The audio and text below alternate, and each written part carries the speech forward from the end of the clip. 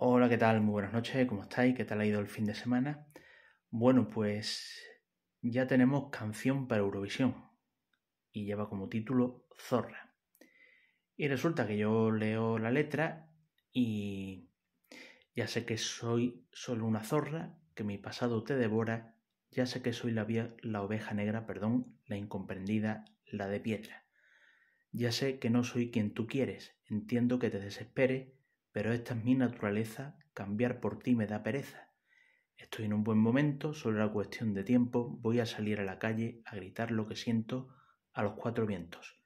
Si salgo sola, soy la zorra, si me divierto, la más zorra, si alargo y se me hace de día, soy más zorra todavía. Bueno, pues esta es la letra de la canción.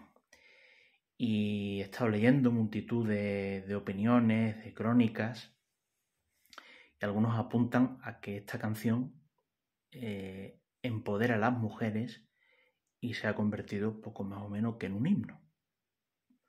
En fin, eh, la he escuchado y la verdad es un... es una mierda. Hay que decirlo así de claro. La canción no vale absolutamente nada y es para cero puntos en Eurovisión.